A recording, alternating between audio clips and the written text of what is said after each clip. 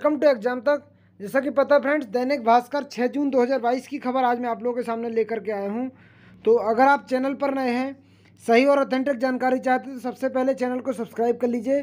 6 जून 2022 की खबर आज क्या है मैं आपको वो बताने जाऊँगा। देखिए छः जून की खबर क्या है? शिक्षक भर्ती में हुई गड़बड़ी की रिपोर्ट को क्यों दबा रही सरकार? पूर्व मुख्यमंत्री कमलनाथ ने आरोप लगाया है कि मध्य प्रदेश सरकार पीईवी की।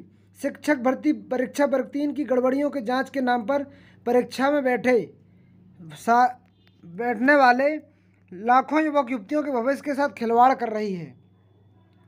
खबरें आई थी कि सरकार जाँच पूरी कर चुकी है तो क्या अब निकाय और पंचायत चुनाव कारण जाँच रिपोर्ट पर कार्रवाई नहीं कर रही? वह भर्ती में सोए हुए इतने बड़े घोटाले को छिपा रही है। कमलनाथ ने मांग की सरकार इस जाँच का रिपोर्ट पर तत्काल निर्णय लेकर लाखों युवाओं के साथ न्याय और रोज़गार सुनिश्चित करे।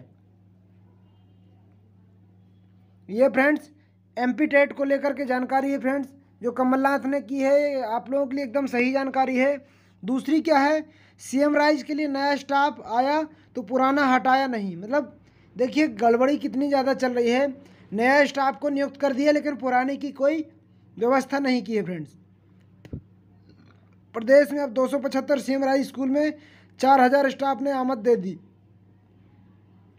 ज्वाइनिंग होते ही पदस्थ इतने ही शिक्षक और सहयोगी स्टाफ सरप्लस हो गए, यानी कि ज़्यादा हो गए हैं। अब इनको कहाँ सेट किया जाए फ्रेंड्स तो काफ़ी दिक्कतें आ रही हैं शिक्षा विभाग में। तो आप देखिए कितनी ज़्यादा दिक्कतों के साथ हैं, जो दैनिक भास्कर में आज की खबर आई थी, मैंने आपको वो बताई। तो चलिए मिलते हैं जब तक, अगले वीडियो के साथ, जब तक के लिए जय हिंद, जय भारत।